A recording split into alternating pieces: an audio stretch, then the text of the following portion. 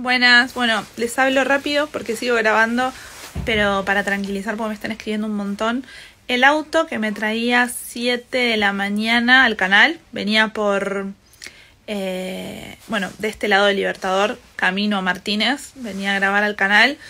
Y el accidente del señor de la moto era del otro carril, del otro lado, pero justo nosotros íbamos mano Martínez, veo el impacto y bueno, con mucha precaución miré hacia atrás porque obviamente venían todos los autos, me bajé automáticamente y fui una de las primeras en, llegar y estaba este señor mayor tirado en el piso que según lo que me pudo decir su moto se resbaló pero mm, nada tenía que ver con el auto que, venía. Yo simplemente me bajé del auto eh, ayudarlo a llamar eh, ayuda. Esperé a que llegara la ambulancia y nada se me ve, no sé, en una foto agarrándole la mochila porque él creo que estaba buscando otro teléfono o algo para...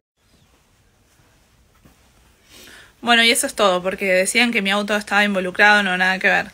Eh, yo venía, yo estaba en la otra mano, pero hice lo que hubiera hecho cualquiera. Vi la moto impactar contra el piso, no se sabía quién estaba, después cuando se sacó el casco vi que se trataba de un señor mayor que estaba muy asustado, temblando, y bueno, lo traté de tranquilizar y nada, supongo que y espero que esté bien.